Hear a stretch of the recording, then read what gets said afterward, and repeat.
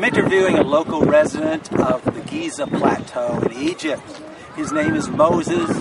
He doesn't have a lot to say, and he has kind of a nasty disposition, so I don't want to get too close. Uh, what uh, do you think of your work here in Giza?